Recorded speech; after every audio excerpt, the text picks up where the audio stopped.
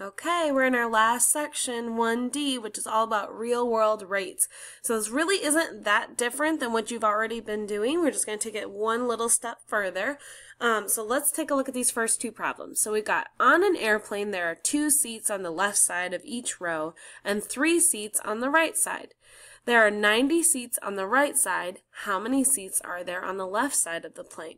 So if you've ever seen a plane, right, sometimes there's three and three, but then on the smaller planes, sometimes there's three on one side and two on the other. So that's this kind of plane. But there's not actually only two seats on the left and three seats on the right. That's just the original rate that they're giving you. So that's what we want to start with is our left and right side because those are the two things we're comparing. So those, that's what we want to kind of orient ourselves with. And we're going to start with um, the original rate is what I like to call it, which is two seats on the left, and I put that on the top because my top is the left side, and then three seats on the right, which is on the bottom, representing the right side.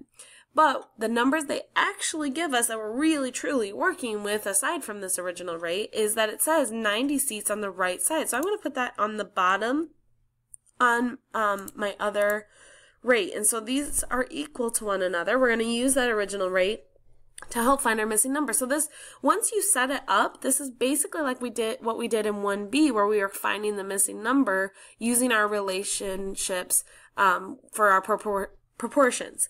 So for this one, I'm going to look across because there's not a clear one up and down. So to get from 3 to 90, I'm multiplying by 30. So I need to do the same thing to the top, and I get 60. And notice how I circled it? That kind of draws attention because if you just fill in your proportion, you're not really going to tell which part is the actual answer. So make sure you circle that or rewrite it, something like that.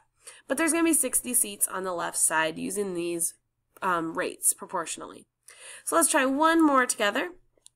So now we've got a person on a moving sidewalk travels 21 feet in 7 seconds. The moving sidewalk has a length of 180 feet. How long will it take to move from one end of the sidewalk to the other?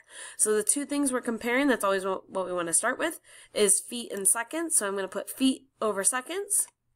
And then we're going to set up the original rate they give us, which is 21 feet in 7 seconds. Then the other number, they're always going to give you three out of the four numbers somehow, some way, and then you're trying to find that uh, missing number, which is that fourth number. So they give us 180 feet, so I'm going to put that on top. And I know that these are equal to one another, so I gotta try and think. And there's a couple different ways I could do this, right? I could see a connection from 21 to 180, but that's a little harder to see.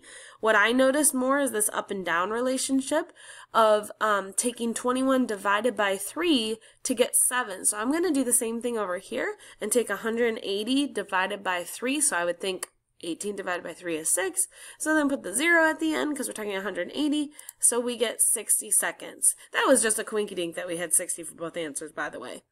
But we got 60 seconds. You could also call that one minute if you want, but I'm going to keep it in seconds because that's what we started with. But one minute would work too. And notice how I circled it so we know that's the actual answer they were looking for.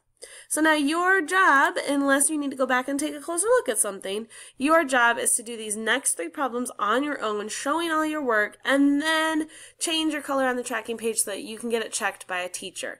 They will check it for you. This is your quick check is doing these three problems, showing your work, and gain a teacher to sign off on it. Good luck, and you're almost that level one assessment. Ooh, you're so close. You got it.